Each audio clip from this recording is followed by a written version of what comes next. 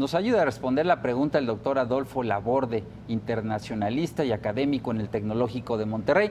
Nos enlazamos con él a China, donde está ahora y por eso le agradecemos este enlace, doctor Laborde. ¿Cómo llegan los candidatos republicano y demócrata a este tercer y último debate presidencial?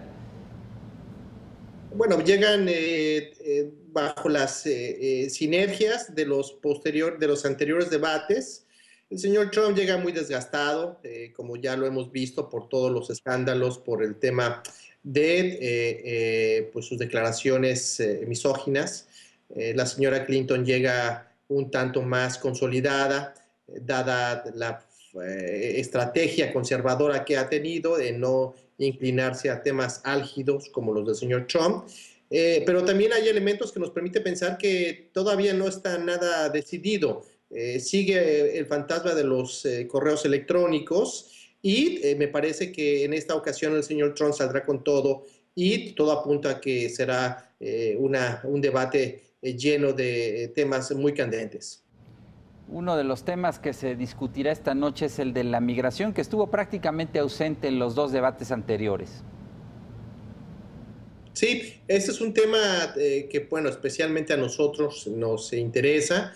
Eh, seguramente el señor Trump se irá con todo. es un arma de dos, de dos filos porque, como vemos, el apoyo latino eh, ha estado atrás de las propuestas de la señora Clinton y eh, si sale a eh, seguir con ese tipo de discurso, pues lógicamente este voto cautivo va a estar perdido. pero también puede tener un impacto con otro sector que es el más conservador, que quizá comulgue con este tipo de, de propuestas y que, bueno, esperemos que la señora Clinton responda a la altura de la situación. Eh, los puntos débiles de Trump y Clinton son el escándalo de las grabaciones de acoso sexual en el caso del candidato republicano y los correos sobre su campaña en el de la demócrata.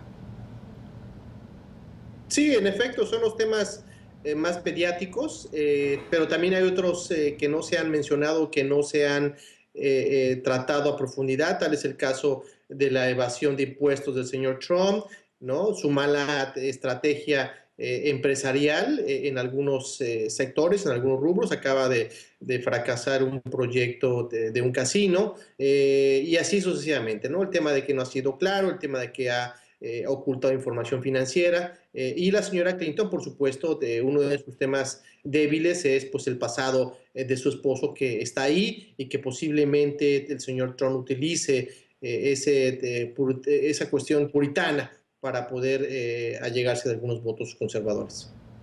Y a tres semanas de las elecciones, ¿cuál será el tono de las campañas de aquí al 8 de noviembre? El señor Trump eh, va a irse con todo, eh, ya está manejando un discurso que no lo habíamos visto dentro del institucionalismo de los Estados Unidos, habla de una de un fracaso de las instituciones, deja ver eh, o deja abierta la puerta de un eh, eh, fraude electoral. Y, bueno, pues además de ello, pues seguramente te echará una serie de estrategias mediáticas, como el, tema de las acusaciones de la vida extramarital del señor Clinton, el tema de los correos y por supuesto, pues apelará a ese gran tema de lo que sería volver a ser América Grande. Eh, lo mencionaba al principio, pero le pregunto si hasta este momento nada está definido, eh, pese a que la mayoría de las encuestas le dan ventaja a Clinton sobre Trump.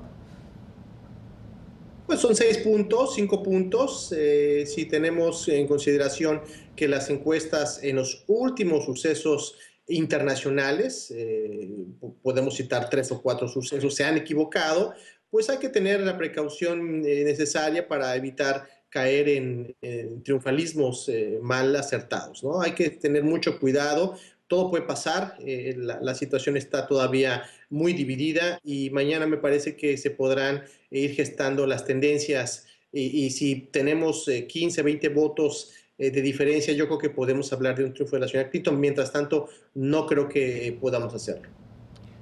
Doctor Laborde, gracias y saludos en China. No, a la orden. Gracias por considerarme. Les mando un abrazo. Gracias.